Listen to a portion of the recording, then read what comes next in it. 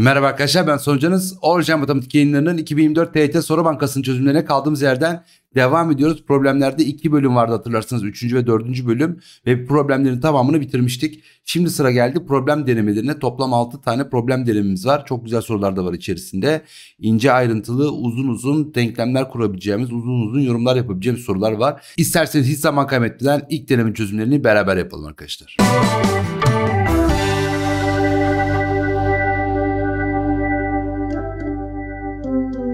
Şimdi geldik ilk sorumuza başlayalım bakalım neler anlatıyor bize. A ağacı dikildikten sonra her x yılda B ağacı ise dikildikten her y yılda gövdesindeki iç kısmında birer halka oluşmaktadır. Şimdi o zaman sol taraftakinde galiba 3x yıl geçmiştir. Sağ taraftakinde 2y yıl geçmiştir diye bir yorum yapabiliriz. Şimdi şunu hemen buradan tutalım. Şunun altına getirelim. Sonra buradan aşağı inelim devam edelim.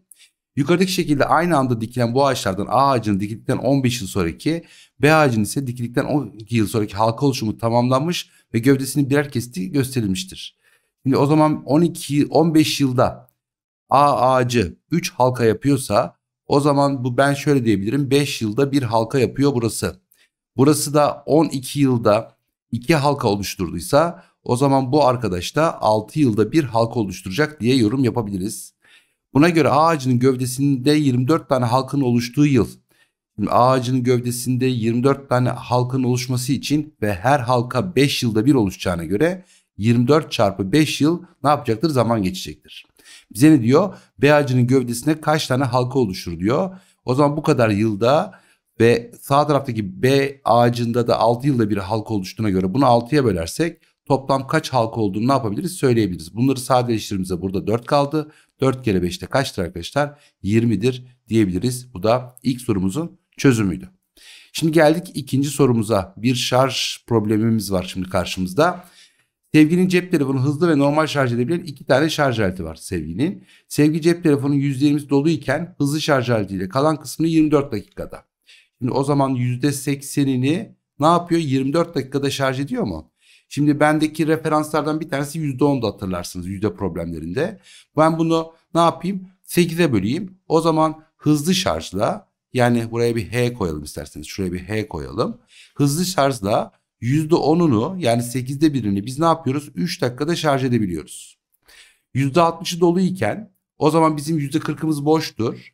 Normal şarj aletiyle buraya da ne yazalım isterseniz %40'ını 20 dakikada %40'ını ne yapıyor? 20 dakikada. Yine referansımız %10'du. O zaman bu arkadaş %10'unu 4'e bölerseniz 5 dakikada ne yapacaktır? Şarj edecektir. Şimdi şurayı da silelim. Yani bizim elimizde hızlı şarj %10'u 3 dakikada yaparken iddialı bence çok da iyi bir şeymiş. Normal şarjda %10'unu 5 dakikada yapıyor ki bu bile bence gayet iyi. Ee, sevgi telefonun şarjı %10 dolu iken hızlı şarj aletiyle şarj etmeye başladıktan 12 dakika sonra hızlı şarj aleti bozuluyor. Peki buna göre kalan kısım normal şarj aleti kaç dakikada şarj edebilir diyor. Şimdi 12 dakika sonra hızlı şarj bozuluyor. O zaman 12 dakika ne demek? 4 tane 3 dakika demek. O zaman 4 tane %10 demek. O zaman hızlı şarjda biz %40'ını şarj ettik. Doğru mu? E bizim bir %10'luk doluluk kısmımız vardı. O zaman bizim %50'si dolu oldu. %50'si dolu. O zaman bize ne kaldı? %50'lik kısım kaldı. Ve kalan kısmı diye bakın oralar önemli aslında. Kalan kısmı ne kadar da şarj eder diyor. Demek ki %50'yi ne kadar da şarj eder? Şimdi normalle şarj edeceğiz. %10'u 5 dakikaysa %50'sini ne kadar da yapacak? 5 katı olan 25 dakikada şarj edebilir diyebiliriz normal şarjla. Yani doğru cevabımız ikinci soru için ne gelecek arkadaşlar? Adana gelecek diyebiliriz. Altta var mı? Yok. Geldik sağ tarafa. Üçüncü sorumuzdayız. Yaşları birbirinden farklı olan Enver, Meltem ve Beren'in yaşları ile ilgili olarak aşağıdakiler bilinmektedir. Meltem ile Beren'in yaşları farkı yani Meltem eksi Beren ya da hangisi büyükse artık. Enver ile Meltem'in yaşları farkına eşittir. Eşittir Enver eksi Meltem diyelim. Üçünün 4 yıl önceki yaşları ortalaması 22 ise Şimdi o zaman bugünkü yaşları ortalaması 26 olacaktır ve ben bunu 3 ile çarparsam yaşları toplamına da 78'dir diyebilirim. Üçünün yaşları toplamı 78'miş. Buna göre Meltem'in bugünkü yaşı nedir demiş. Mesela ne yapabiliriz? Meltem'i buraya çekelim bunu da buraya alalım. O zaman iki tane Meltem e, Beren artı Enver'in yaşına eşit. O zaman burada üçünün yaşları toplamı 78 ise Beren'le Enver'in toplamı da iki tane Meltem yapıyorsa o zaman M artı E artı B ki burası 2M yapacaktır. Toplam ne yaptı? 3M yaptı. Bu da kaçtır? 78'tir. O zaman M buradan ne yapar? 26 yapar diyebiliriz. O zaman Meltem'in yaşı ne yaptı arkadaşlar? 26 yaptı. Bu da 3. sorumuzun çözümüydü. Dörtte bir spor salonuna aylık aboneliği olan Selim'in spor salonunda her gittiğinde bir spor aletini en fazla bir saat kullanma hakkı var. Selim spor salonuna gittiği bir günde sadece koşu bandını kullanmaya karar veriyor ve toplamda 20 kilometre koşu yapmayı planlıyor. Tamam. Bir saatte maksimum kullanması süresi var. Selim koşu bandını kullanmaya başladığı ilk 40 dakikada ortalama 18 kilometre hızla koşmuştur. Yani bu bakın buradaki birimler önemli aslında. 18 kilometre saat hızla 40 dakika koşmuş. Şimdi 18 çarpı 40 dakika saatin kaçta kaçıdır? 40 bölü 60'ı ya da 2 bölü 3'üdür. O zaman buradan 12 kilometre koştu diyebiliriz doğru mu? Ama planı ne? 20 kilometre koşmak. O zaman biz bir 8 kilometre daha koşmamız lazım. Ve bunu ne kadar da yapacağız? İlk 40 dakikada diyorduk ama Selim'in bir süresi vardı. Selim e, her spor aletini en fazla bir saat kullanma hakkı vardı. O zaman bizim Selim 20 dakikada ne yapmalı arkadaşlar? 8 kilometre koşmalı. Kalan 20 dakikada. Peki bir de ne soruyor? Koşmanın hızın ortalama kaç kilometre saat olarak ayarlamalıdır diyor kalan kısmı için. O zaman düz mantık. 20 dakikada 8 kilometre koşuyorsanız 60 dakikada ne kadar koşarsınız? 3 katı olan 24 kilometre koşarsınız.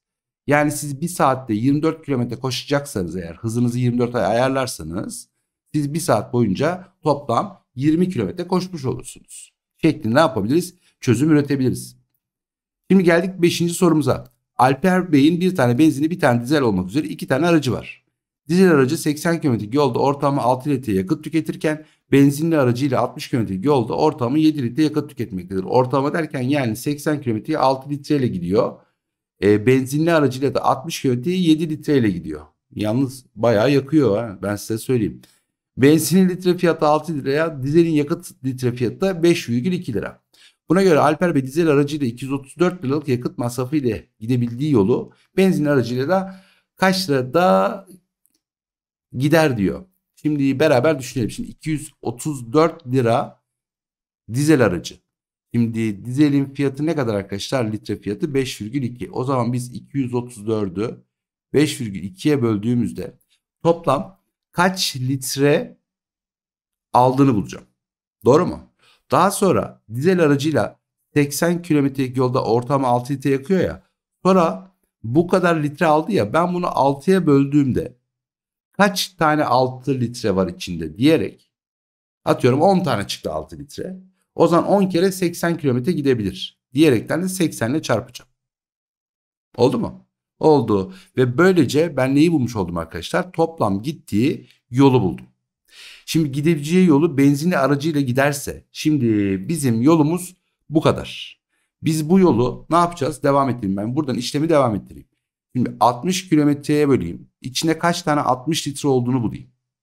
Şimdi benzinliyle gideceğim. Atıyorum 120 kilometre çıktı burası. 120'yi 60'a bölerek kaç tane? 2 tane 60 var. O zaman 2 tane 7 litre tüketecek. O zaman buraya da çarpı 7 diyeyim. Oldu mu? Ve ben şimdi neyi buldum? Bu kadar litre tükettiğini buldum. Ve bu kadar litre tükettiğini bulduktan sonra benzin litre fiyatı da 6 liraydı. Ve işlem sonucuna geldik. Gördüğünüz gibi hiçbir eşitlik çarpma bölme yapmadan sonuca gideceğiz ama bakalım Allah'ıma şükür inşallah doğru işlem yaparız. Şuradaki virgülle şuradaki sıfır önce bir ortadan kaldıralım. Şuradaki 6'yı da şuradaki 6'yı ortadan kaldıralım. Başka sadeleşebilen var mı vatandaşlar? Mesela bunu 4'e yok 2'ye bölsek 40 bunu 2'ye bölsek 3. Şimdi üst tarafta ne var? Bir 234 var. Bir 40 var. Bir de 7 var. Alt tarafta ne var? Bir 52 var. Bir de 3 var. Şimdi mesela bu 3'e bölünüyor galiba. 80 desek 240, 70 desek 78. Şununla sadeleştirdim. Şimdi 4'e böldüm 13, 4'e böldüm 10. Güzel. 78'de 13'e bölünüyorsa biz bu işi çözdük. Evet bölünüyor 6. 6 çarpı 7 42 42 çarpı 10 da 420 liraya ne yapacaktır? Mal olacaktır. Bakın cümlelerimi iyi tane tane geri sarıp bir daha izleyin dinleyin. Oradan çözüme ulaşacaksınız. Güzel bir soru. Ben de çözümünü bu şekilde yaptım. Tamam. Geldik 6'ya. Bir kuru yemişçi Antep fıstığını kilogramı %40 kar ile 70 liraya yani atıyorum 100 liralık bir ürünü 140 liraya satıyor gibi düşünecek olursanız 70 liraya sattığına göre bakın iki katı iki katı o zaman maliyeti ne kadardır 50 lira. Yani 50 liralık Antep fıstığını şuraya Antep yazalım 70'e satıyoruz biz. Doğru mu? Planımız bu. Peki Siirt fıstığını ise kilogramını %20 karla satmak istiyoruz. Şimdi 100 iken 120'ye satmak istiyoruz. Ve satış fiyatımız 60 lira. Bakın bu iki katı bu iki katı. O zaman Siirt fıstığı da kilogramı 50 lira ama satış fiyatı 60 lira. Evet maliyetler aynı ama Antep fıstığından daha fazla kar yapıyor diyebiliriz. 200 gram Siirt fıstığı ve 300 gram Antep fıstığı alan bir müşteriden bu kuru yem için elde ettiği kar yüzde kaçtır demiş. Şimdi bu 50 lira bizim maliyetimiz ne kadar? 1 kilonun maliyeti. Şimdi o zaman 1 kilonun maliyetinde ne, nasıl yapalım? Şurada şöyle bir şey yapalım isterseniz. Şimdi e, buradaki karı ne kadar? 20 lira 1 kiloda. Buradaki karı ne kadar arkadaşlar? 10 lira 50 lirada. Şimdi biz bunun elde ettiğimiz karı hesaplayalım. Karı da maliyete bölelim. Kar bölü maliyet bana ne verecektir? Kar oranını verecektir. Onu da yüzdeye çevireceğiz. Şimdi 20 lira kar yapıyor 1 kiloda. Ne de Antep fıstığında. O zaman ben bunun 3 bölü 10'u kadar kar yapacağım. Neden? 300 gram çünkü. Yani 1 kilosu da 20 lira kar yapıyorsam yani 1000 gramında e, 20 lira kar yapıyorsam 300 gramında ne kadar kar yaparım onu hesaplamaya çalıştım. O zaman 20 liranın 3 bölü 10'u kadar kar yaparım. Bu karımız. Sonra Siirt fıstığında da Siirt fıstığındaki karımız ne kadardı arkadaşlar? 10 liraydı değil mi? 10 liraydı ve 10 liradan biz 200 gramlık Siirt fıstığı aldığımıza göre 1 kilonun kaçta kaçı yapar 200 gram? 1 bölü 5'i yapar. O zaman 1 bölü 5'i de Siirt fıstığından kar yaptık. O zaman biz yukarıya şu an neyi yazdık? Elde ettiğimiz karı yazdık. Peki şimdi maliyeti yazacağız. Maliyeti nasıl yazacağım? 50 çarpı 3 bölü 10. Neden? Çünkü e, Antep fıstığının kilosu 50 liraydı. Ben 300 gram Antep fıstığı aldım. Maliyeti 50 çarpı 3 bölü 10 artı 50 çarpı 2 bölü 10 diyebilirim. Peki bakalım. Üst tarafta ne var? Buradan 2 6 geldi. Buradan ne geldi? 2 geldi. Sonra burada ne geldi? 15 geldi. Burada ne geldi? 10 geldi. O zaman ne yaptı? 8 bölü 25 yaptı. 4 ile çarparsak %32'lik bir neyimiz vardır? Kar yüzdemiz vardır diyebiliriz. Bu da altın sorumuzun çözümüydü. Geldik 7. sorumuza. Bir pazarcı sattığı elmaların 2 bölü 5'ini kilogramı 4,5 liradan geriye kalan ise kilogramı 3 liradan satarak %8 kar elde ediyor. Buna göre pazarcının sattığı toplam elma miktarının toplam maliyet fiyatına oranı nedir demiş. Şimdi bizim 5x tane elmamız olsun. Şimdi uyduruyorum 2 bölü 5'ini. Şimdi 5x elmanın 2x'ini nereden satıyoruz arkadaşlar? 4,5 liradan. Sonra geri kalan 3x'ini de nereden satıyoruz arkadaşlar? 3 liradan satıyoruz. Şimdi ben o zaman cebime giren parayı söyleyebilirim. E, cebime giren para ne kadar olacak buradan? 2x çarpı 4,5'dan 9x olacak. Burada da 9x olacak. Ben 18x lira para topladım. Doğru mu? Bu 18x lira para benim %8'lik karım. Ama topladığım para %108'e tekabül edecek. Çünkü maliyet %100.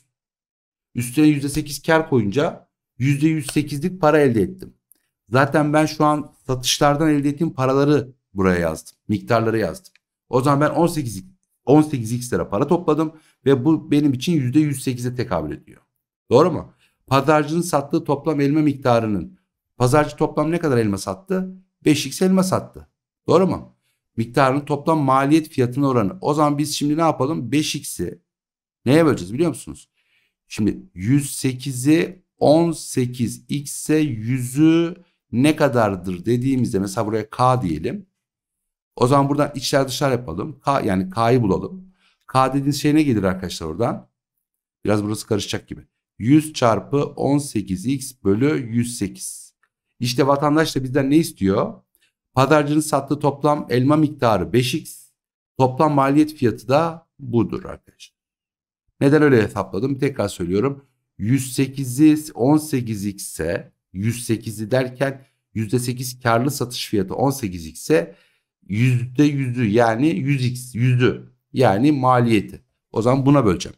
100 çarpı 18x bölü 108'e böleceğim. Bakalım neler çıkacak. Bu ters çevirip çarpılacak. O zaman 5x çarpı 108 bölü 100 çarpı 18x. X'ler gider.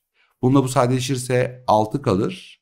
Bununla bu sadeleşirse 20 kalır. Ne oldu? 6 bölü 20 oldu. Şıklarda 3 bölü 10 var mı? Var. O zaman doğru cevabımız ne gelir arkadaşlar? Denizli gelir diyebiliriz. Bu da 7. sorumuzun çözümüydü. Şimdi geldik sağ tarafa 8 ve 9. sorulardayız. Şimdi kırmızı et A %20 ile göster 20 derece ile göstermiş. Ne oldu? 20, 120, 210 bu da 150 derece mi? Peki bakalım. Hepsini vermiş. Dersel bir grafikte bir aile aylık tüketilen gıdanın ağırlıkça dağılımını göstermiş. Ağırlıkça dağılımını. Yani yüzde mesela 10 dereceye x desek mesela burası 9x, burası 15x, burası 10x, burası da 2x yaptı. Burası 2x, burası 10x, burası 15x, burası 9x yaptı. Doğru mu? Peki bakalım. Grafiğin oluşturduğu ay boyunca 1 kilo beyaz et fiyatı 1 kilo kırmızı et fiyatının 1 bölü 3'ü olduğuna göre bakın beyaz et fiyatı kırmızı kırmızı et beyaz etin 3 katı. Yani A nerede bu? Fiyatı beyaz et nerede C'nin 3 katı fiyatı. Yani bunun fiyatı 3A bunun fiyatı A diye düşünelim. Bu ayda kırmızı ete ödenen ücretin beyaz ödenen ücrete oranını sormuş. Şimdi o zaman kırmızıyı beyaz oranlayacağız değil mi? Kırmızı hangisiydi? A'ydı. Yani ben 3A lira kilogram başına para vereceğim ve 2x kilo kırmızı et alacağım ve benim ödediğim para çıkacak. Aynı şekilde tavuğa yani beyaz ete ben A, beyaz etin içinde balık da var Soner'cim. A lira para ödeyeceğim 1 kilosuna ve 15x kilo alacağım. Bu da beyaz ete ödediğim paranın miktarı olacak. Bunların oranını istiyor. O zaman şuradaki A'lar gider, şuradaki X'ler gider. Şuradaki 3 ile 15 sadeleştirsek burada 5 kalır. O zaman 2 bölü 5 bizim doğru cevabımızdır 8. soru için. Yani 2 bölü 5 nerede? Bursa'dadır diyebiliriz. Şimdi geldik 9. sorumuza. Yukarıda Buse'nin rujunun 3 farklı durumu verilmiştir. Evet. Bu rujun mavi kısmı ok yönünde çevirdikçe pembe renkli dik dersel sinir şeklindeki ruj ok yönünde sabit hızla yükselmektedir. Ok yönü derken dışarıya doğru. Değil mi? Şekil 1'de mavi mekanizma ok yönünde 1080 derece döndürülürse şekil 2 oluşuyor. Şimdi çoğumuz ruj görmüşüzdür herhalde değil mi? Yani ya da ruj da olmasa bu lipstikler falan filan var ya onlar gibi ya da şey de olabilir. U da olabilir. Yani önce bunlar birazcık içeridedir. Biraz çevirirsiniz. Ondan sonra o sınıra gelir. Ondan sonra yükselmeye başlar. Yani bu aslında ruj dediğiniz yer belki de şuralarda aslında. Belki ilk başta şuralarda. Siz bunu şekil 1'deki mavi mekanizma ok yönünde 1080 derece döndürünce şekil 2 elde ediliyor. Yani siz hem içindeki şu kadar miktarı çıkarıyorsunuz 1080 derece deyince 1080 ne yapıyor? 1080 yapıyor. 80 derece deyince hem şuradaki x kadar dışarı çıkıyorsunuz x santim hem de 3 santim kabın dışına çıkıyorsunuz. Daha sonra şekildeki mekanizma 600 derece döndürüldüğünde şekil 3'teki görüntü elde ediliyor. Yani 3 santimken 5 santim. O zaman burası 2 santim. Hmm, şimdi burası burada netleşebiliriz artık. Yani ne yapabiliriz?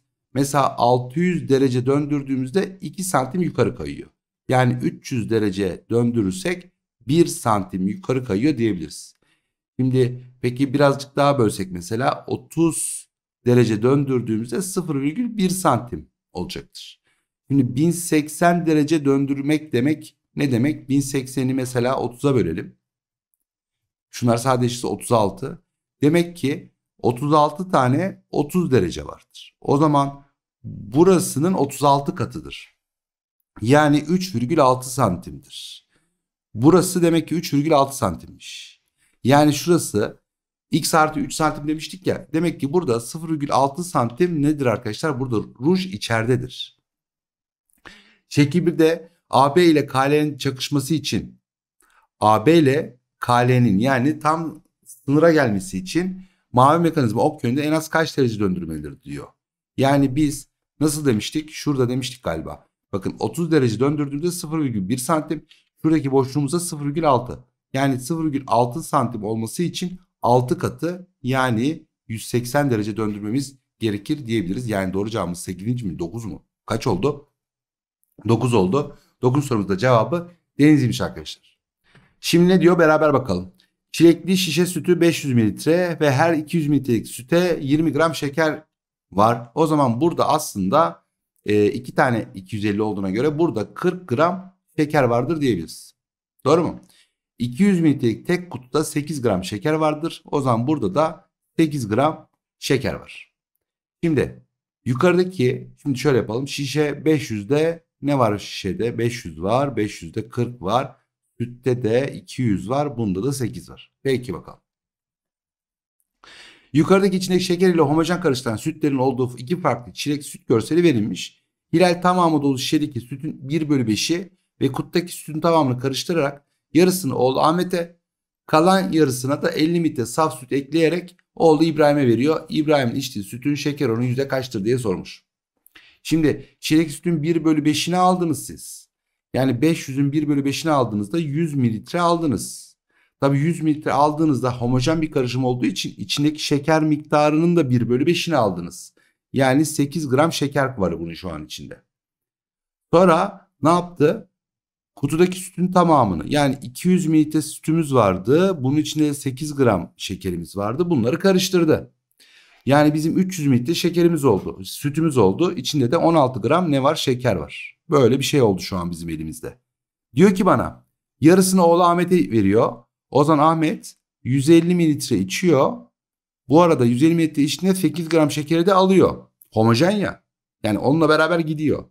Sonra İbrahim'e 150 mililitre kalıyor ve 8 gram da şeker kalıyor. Şimdi devam ediyoruz. Kalan yarısına 50 mililitre saf süt ekledi. 150'ye 8 zaten bizim vardı. Bu arada 8 gram bunun içinde. 150'nin içine bir ne yaptık? 50 mililitre daha ekledik. Toplam 200 mililitre bizim neyimiz oldu? Sütümüz oldu. Peki bunun içindeki şeker miktarı ne kadardır? 8'dir. Şeker bölü karışım bana neyi verecektir? Şeker oranı verecektir. İkisini de 2'ye böldüğünüzde 4 bölü 100'den %4 oranında İbrahim'in içtiği sütte ne vardır arkadaşlar? Şeker vardır diyebiliriz. Bu da 10. sorumuzun çözümüydü. Güzel, yorumlu bir soru. Geldik 11'e. Bir katı tavsiyede bulunan matematik soru bankası sayısı kimya soru bankası sayısının 6 katıdır. Şöyle o zaman matematik, kimya x'e 6x. Bu iki tür kitabın 2 bölü 3 satıldıktan sonra kırtasiyede kalan kimya soru bankası sayısı başlangıçtaki kimya soru bankası sayısının 1 bölü 3'ü olduğuna göre bu iki tür kitabın 2 bölü 3 yani toplam kitabın 2 bölü 3 satılıyor. Doğru mu?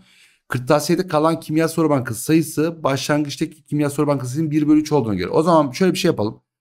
Kesir problemlerinde kesirle uğraşmak zorunda değiliz. Burada da kesir vermiş ama kesire gitmek zorunda değilim. O zaman x kalsın 1 bölü 3'ü kalıyor ya bakın başlangıçta kimya soru bankasının 1 bölü 3'ü kalıyor. O zaman burası 3x olsun. Ve matematik kitapları da kimya kitaplarının 6 katıydı. O zaman 18x olsun. Yani benim toplam kitap sayım 21x olsun. Tamam mı? Ve bu 21x'in 2 bölü 3'ü satılmış. Yani 14x satılmış. 14x satıldığında bakın burada bunlar ilk halleri bunlar da kalan dersem aradaki değişim satılandır. Yani buradan 2x burada satılmış. 14x'in 2x'i burada satılmış. O zaman 12x de burada satılıp burada 6x kalacak. Yani matematik kitabı 6x kaldı. Kimya kitabı da x kaldı. Diyor ki bana kalan matematik kitabı sayısının ise başlangıçtaki matematik soru bankası sayısından 72 eksik diyor. Yani aradaki fark ne kadar? 12x mi? Evet 12x neymiş? 72'ymiş. O zaman x nedir? 6'dır. Başlangıçtaki kıtasiyet kitabında kaç tane kimya soru bankası vardır? 3x vardır. 3x nedir Soner buradan? 18'dir diyebiliriz. O zaman 11. sorumuz cevabı Bursa'dır. Hadi bakalım devam geldik sağ tarafa 13 ve 12 son iki sorumuza. İlk denememizi tamamlıyoruz.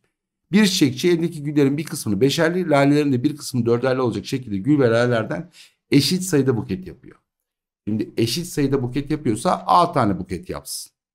Şimdi gül diyelim, lale diyelim. A tane paket yapsın. Ee, paket mi diyor? Buket, buket. buket yapsın. Şimdi güllerin bir kısmını beşerli, o zaman 5A olacak. Lalelerin bir kısmını dörderli, o zaman A taneden de 4A tane kullanmış oldu. Kalan güllerin tamamını dörderli, mesela atıyorum B tane gül kalsın. Yok B tane gül kalmasın. Bunları dörderli yapsın gülleri.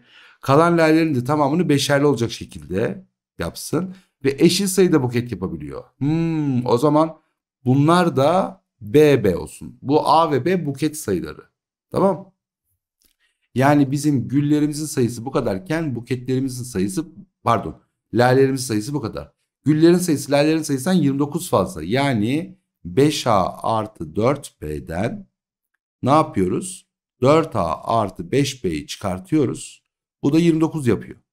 O zaman A eksi B kaç yapacak arkadaşlar? 29 mu yapacak? Evet. Gül ve lalelerin toplam sayısı en az kaçtır demiş. O zaman nasıl yapalım? Diyelim ki diyelim ki B 1 olsun bu da 30 olsun.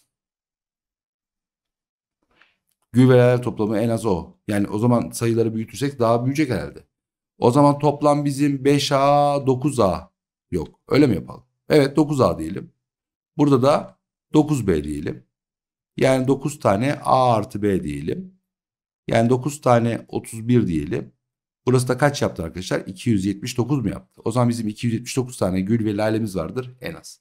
Yani siz bunu 31'e 2 de alabilirsiniz ama o zaman tabii ki doğal olarak sayılar ne yapacak? Büyüyecek. Geldik son sorumuza. 13. soru. Şekil 1 ve şekil 2'de 2 tane 4 tane katran var. Ne anlatıyor bakalım. Yukarıdaki şekillerde Ahmet Bey'in aracının eşit bölmelere ayrılmış olan yakıt göstergesinin farklı zaman görselleri verilmiş. Ahmet Bey'in yakıt almadan önceki ve 500 lira değerinde yakıt aldıktan sonraki yakıt göstergesi 1'de. Şimdi 500 lira yakıt almış ne yapmış? A'daymış E'ye gelmiş 1, 2, 3, 4. O zaman 4 birim gittiğinde 500 liraya denk geliyor. 1 birimlik yer o zaman 125'tir. Peki bakalım. Sonra bir hafta sonra Ahmet Bey yakıt almadan önce 600 lira değerinde yakıt aldıktan sonra yakıt göstergesi şekil 2 olmuş. B'deydi. Buraya geldi 1, 2, 3. 3 birim gitti. Ve 3 birim ne kadar ilerledi? 600 lira benzin almıştı. O zaman bir birim ne yaptı arkadaşlar? 200 lira mı yaptı? Üf. O zaman zam gelmiş. 125'te 200'e mi geldi? Ahmet Bey'in ikinci yakıtı bir önceki haftaya göre yüzde kaç zamlı? 125'te 200 oldu. 125'te 200 oldu. Ne kadar zam var? 75 lira. Kime göre zam var? İlk haline göre. Yani 125'e göre. 25'e böldük 5, 25'e böldük 3, 20 ile çarparsak %60 bir zam gelmiştir benzinimize. Hayırlı uğurlu olsun vatanı millet. Böylece ilk denemenin çözümleri beraber yaptık arkadaşlar. Bir sonraki denemede görüşmek üzere. Kendinize iyi bakın. Sıkı çalışın. Hoşçakalın.